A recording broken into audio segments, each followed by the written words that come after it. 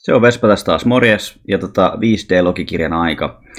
Nimittäin aika mielenkiintoinen, mielenkiintoinen reissu oli tuossa viime yönä tai aamuna. Tietoisuus siirrettiin.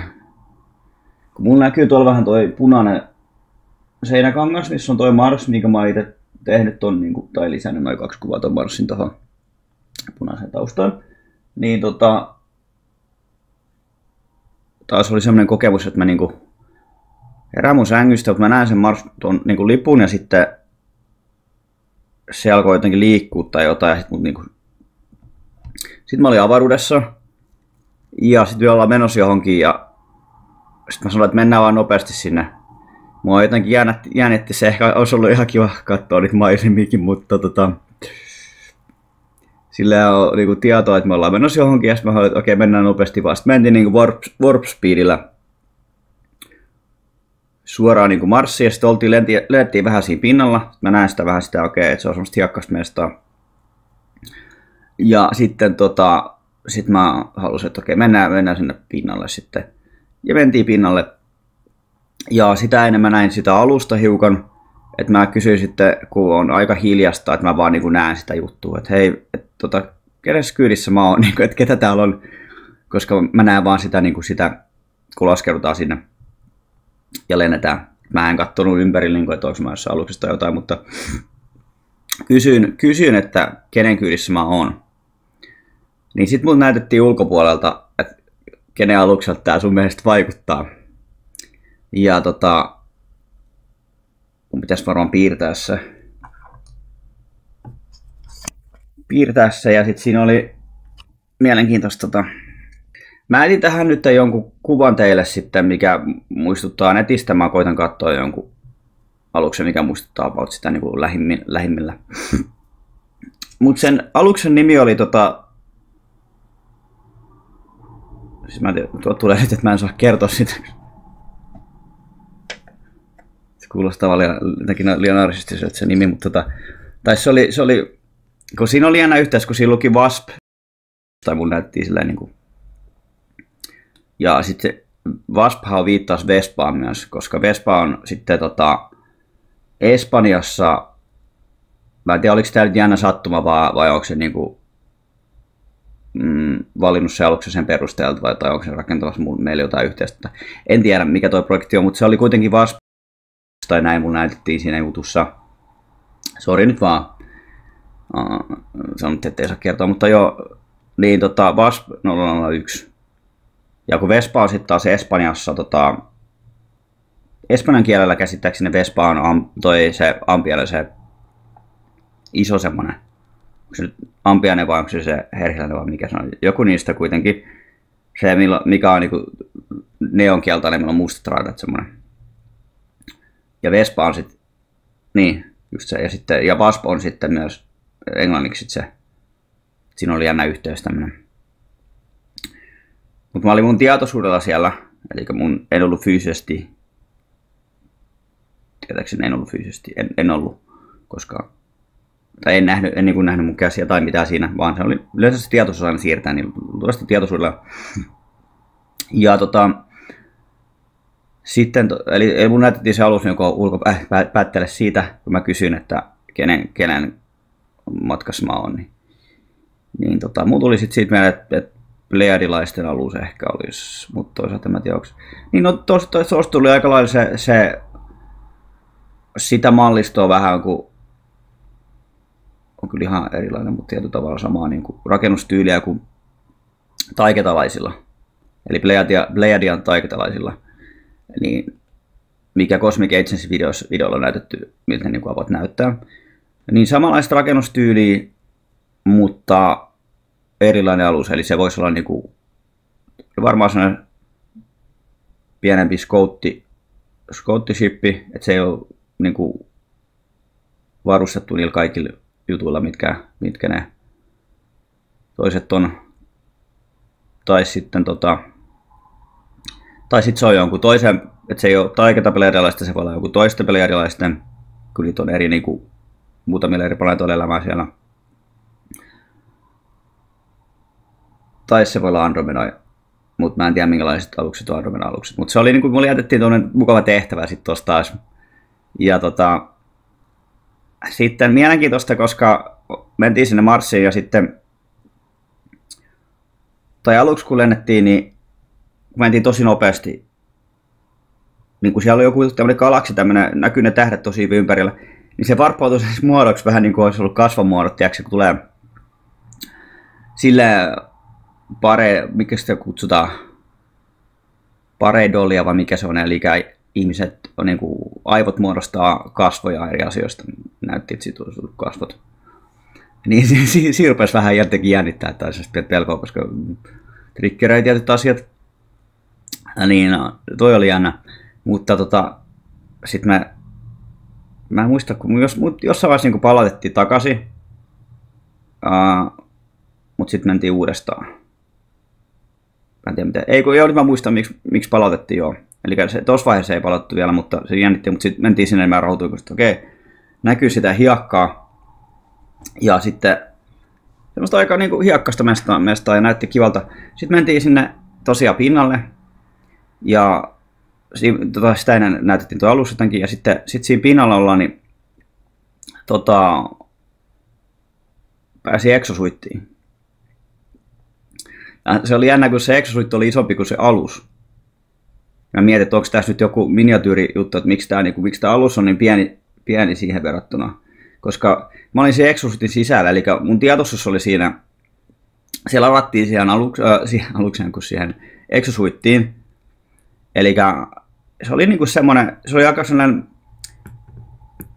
sanotaan, että se oli aika semmoinen niinku robotti, siis perusrobotti, mutta se on vähän niin kuin korilla, korilla tiedätkö, semmoinen iso, tiedätkö, ja tosi niin kuin vahva semmoinen, vum, vum, vum, tiedätkö, tämmöinen. Ja tota, tosiaan mun tietoisuus ladattiin siellä, eli mä tunsin myös, mitä se, se niin kuin exosuitti tuntee, tai se robotti tuntee. Ja se oli, se oli tumma värinen, lähinnä musta, semmoinen tumma, tumma musta, tumma, tum, vähän niin kuin itsestään värinen kuin tämä hiiri aika lailla. Niin tota, sen kanssa sitten pystyi nostaa sitä hiekkaa sieltä näin, ja se näytti niin pieneltä se hiekka, semmoista niin kuin, näytti sen exosuitin kautta, kun se on niin iso myös, että vähän niin kuin semmoista pehmeätarannan hiekkaa. Se oli varmaan niin kuin, varmaan sitten oli kuitenkin karkempaa, mutta siitä näkökulmasta se näytti. Mutta mielenkiintoista, koska sitten pyysi mua katsoa sinne lähemmäs, ja tota, mä katsoin sitten siellä exosuitin sinne lähemmäs, että siellä menee niin kuin jotain pieniä soluita, jotain niin näytti. Näytti tosi pieniltä nimittäin. Mutta sitten kun zoomasi lähemmäs, tai meni katsoa lähemmäs, niin tämä kuulostaa tosi tyhmältä, niin kuin ei, en ole mistään muusta lähteestä kuullut, mutta lintuja oli Marsissa. Ja se on mielenkiintoista, mutta ne ei ollut mitä tahansa lintuja, vaan ne oli mutantteja, koska se oli jännä, kun sinne, silleen kun kaksi lintua olisi laitettu yhteen, ja olikin varmaan, että niin kuin jollain oli kaksi päätä, niitä oli vähän eri varioita, variaatioita, mutta yleensä ne oli kuin neljä siipeä ja oli niin kuin edessä siivet ja sitten oli vielä takana siivet ja sitten oli niin kuin jollain oli vissiin kaksi päätä ja oli niin kuin eri vari, variaatioita niistä ja ne, oli sit, ne lisätty siellä sit keskenään. Ja... Et se on luultavasti jonkun lajin projekti, koska siellähän sitten Elena Dananin mukaan siellä on niitä alfa-drakoja, sitten siellä oli Katoin sen viime Elena videon, siinä oli tota, Alfa Drakoja ja sitten oli, sit siellä on niitä tota, hyönteis juttuja, niitä insektoideja, ja sitten siellä on ant, mitä kutsutaan ant peopleiksi. Eli niinku semmoisia ant people, niin mitä se kääntyy, muurahaisihmisiä, ns. Niin tota, se on yksi sellainen rotulaji myös niin tota niitä. Niin, mä en tiedä sitten, että olisiko toi joku rakojen projekti, mikä toi oli, niin kuin, mutta se on jännä, koska sitten kun niin siinä kävi sillä tavalla, ensinnäkin kun mä menin siihen tota Androidiin, niin se mun tietoisuus ladattiin, niin siinä on, siinä on semmoinen, se oli hieno se lataus screeni siinä. Tiedätkö, kun on näitä eri, eri ohjelmissa on niin kuin aina, jos pelaa vaikka jotain, niin tulee se rinkula, mikä latautuu tai erilaisia juttuja. Mutta tuossa silleen, että sillä oli niin kuin tavallaan vähän niin kuin Windowsin logo tavallaan, että siinä on ne, se ei ollut Windowsin logo, mutta se oli sen, niin kuin, semmoiset lehdet, mitä on neljä. Mutta se, se kääntyi sieltä aina aukesi yksi lehti silleen fum, sitten yksi fum, sitten kolmas fum ja neljäs fum. Sitten kun se oli auennut täysin, niin siinä luki real. Se oli se käyttäjästä, niin milloin oli real. Mikä oli mun mielestä hauska. Että mä en tiedä, oliko se niinku viittaus siihen, että sitten kun ihmisille näytetään näissä jutuissa, kunnes voidaan siirtää, ja jotkut ajattelee, että ne on niin normiunia tai muuta, niin tuo oli viittaus siihen, että hei, kerropas tästä eteenpäin, että tämä on aito tämä homma.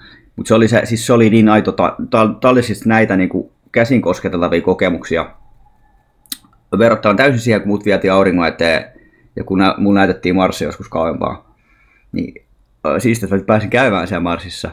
Mutta silloin kun mä olin auringon se oli niin kuin aito.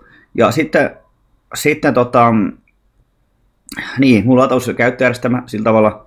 Sitten mä oon siinä Androidissa, tai Androidissa, kun mm, no sitä voi kutsua Androidiksi, robotiksi, exosuitiksi, miksi vaan, mutta kun mä tunnen sen, tiedätkö, että se on niinku, se olisi ihan kuin se olisi mun keho.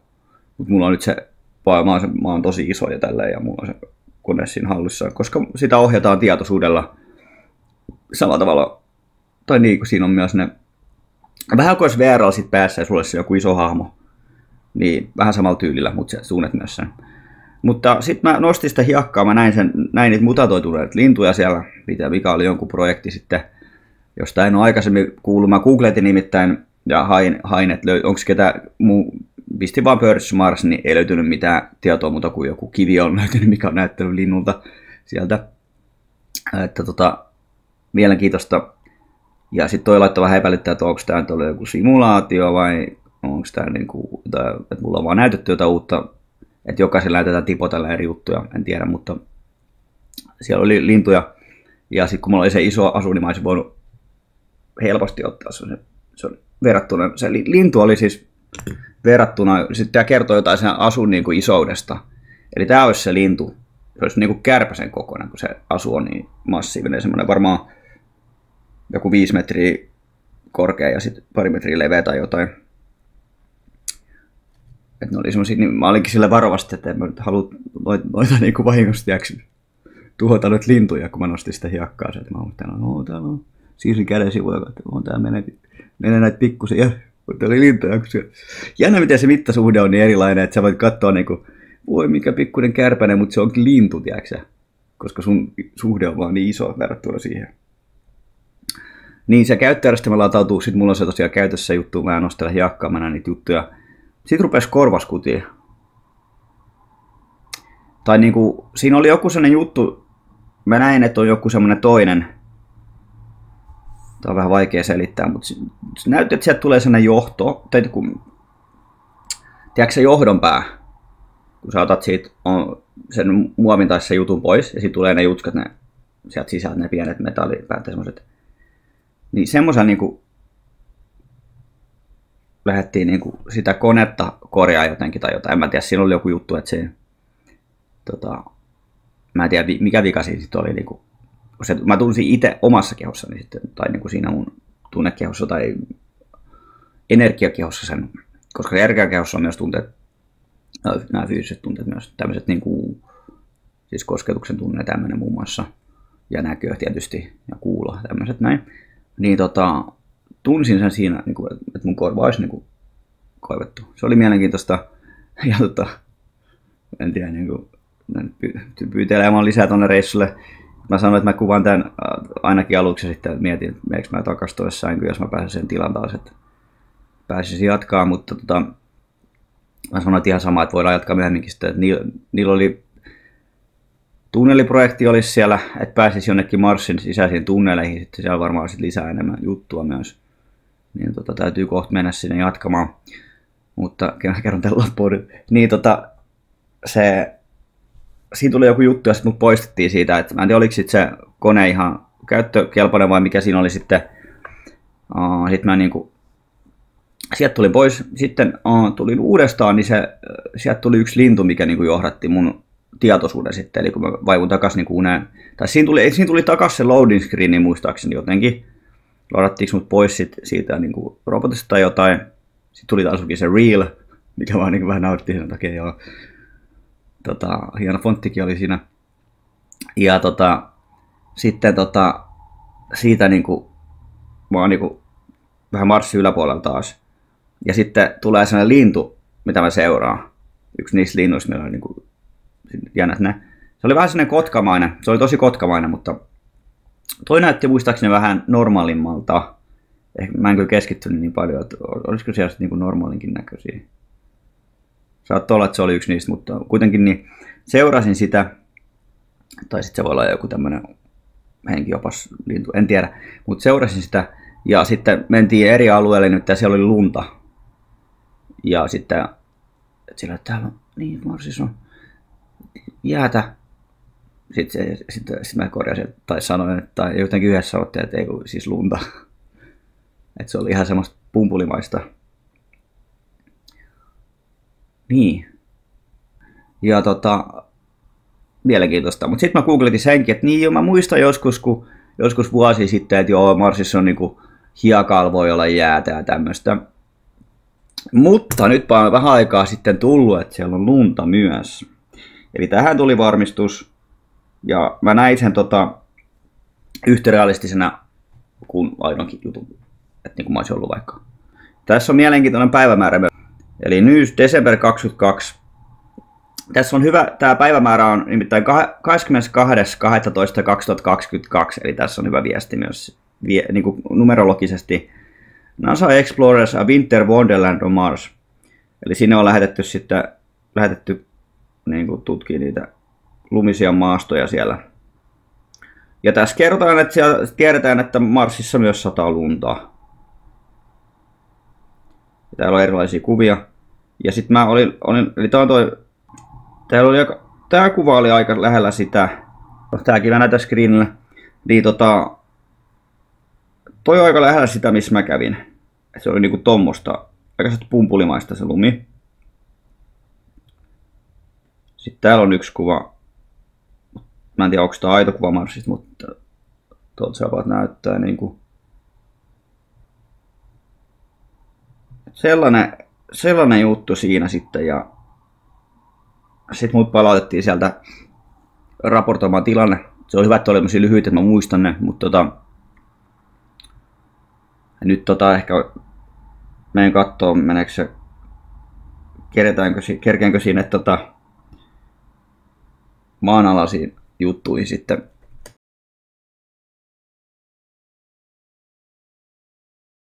Menin tosiaan tuonne muutamaksi tunniksi vielä makaille, että puoleksi tunniksi tai jotain. Ja en ihan päässyt kyllä uneen siinä, mutta sain kuitenkin sen kanavointiyhteyden päälle ja kyselin vähän lisätietoa noista jutuista, varmistin tiettyjä juttuja. Ja tälleen. Ja sitten tota, mulla näytettiin sitten muutamia visioita. Yksi oli sellainen tota, semmoisia lyhyitä väläyksiä. Yksi oli se, että siellä Marsissa on myös pyramideja, siellä, ilmeisesti siellä lumipuolella juuri. Öö, Marsistahan on löydetty ne kasvot ja se pyramidi aikaisemmin.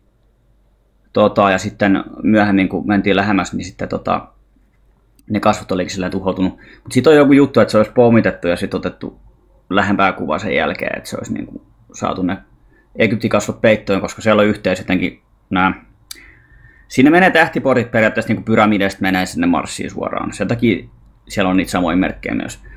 Mutta siellä on myös siellä niin kuin lumipuolella, niin kuin Antarktiksessakin on, ihan niin kuin maapallollakin on lumipuolella, Antarktiksella on pyramiidi, tuossa nyt kuva siitä. Niin on myös sitten Marsissa lumipuolella, niin kuin on sitten ne Marsin kasvot ja sitten se pyramiidi. Mutta tota, joo. Sitten mulla näytettiin semmoista raudan tapasta niin orea tai semmoista, mitä niin mainataan. Mutta ilmeisesti sitä sitten mainittiin niin kuusta, jos mä oikein ymmärsin, että sitä ei niin kuin Marsista. Et se oli kuusta mainattua, ja sitten mä kysyin siitä aluksi, että niin kuin, tai mulla tuli niin kuin, että metal ore sana niin kuin päähän. Sitten mä kysyin sit vähän tarkemmin, niin sitten, sitten siitä tuli tietoa, että se ei ole metal ore, vaan se sieltä tulee suoraan se sana, mikä on niin kuin lähimpänä sitä, jos se, jos se ei ole mun sanavarostossa. Et jos mä tiedän, mikä on dromedaari, dromedaari mutta mä en tiedä kameli, niin sitten ne, vaikka ne, jos ne puhuu kamelista, niin mulle tulee sana dromedaari silloin vaan päähän. Eli sitten tulee lähin, lähin sana. Ja sitten mä sanoin siinä sitten niille, että tota, jos kommunikoida jatkossa, niin tota, jos sitä voi muuttaa sitä kourausta silleen, että se tulisi sitten metallin kaltainen, mieluummin semmoisen sanan, että mä haluan niin aina saada sen tarkan informaation, koska mä en halua, että mä annan jotain väärää tietoa esimerkiksi. Mä haluan se aina silleen mahdollisimman tarkkana. Mutta joo, eli raudan tapaista metallia. Se sanoo, että, niin kuin, että se ei ole metallia, sitä ei löydy maapallolta, tai sitä on maapallolla, mutta sitä on todella vähän. Ja tota, se sana ei tullut mulle sitten läpi, koska se, oli, se ei löydy mun sanavarastosta. Mutta mä oon joskus saanut niitä, on muun muassa se Avalon, mitä mä en ole, niinku, ehkä mä oon joskus saattanut kuulla jossain, mutta en ole ainakaan tietoisesti muistanut semmoista sanaa. Niin se on ainakin tullut silleen suoraan, mutta se on ollut sitten enemmän semmoisessa fyysisemmässä keskustelussa se sana, mikä on annettu, eli face to face, eli äänenä.